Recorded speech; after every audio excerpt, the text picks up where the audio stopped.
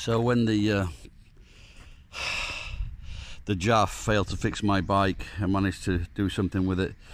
But last week it started to leak air, and it was leaking very fast. And so what I did last night or this morning, uh, I got a puncture kit, and I put a patch from a puncture kit on the outside of the tyre. So the question is, how long will it last? Thanks for watching. Please share on any way you like. Thanks a lot. Bye bye.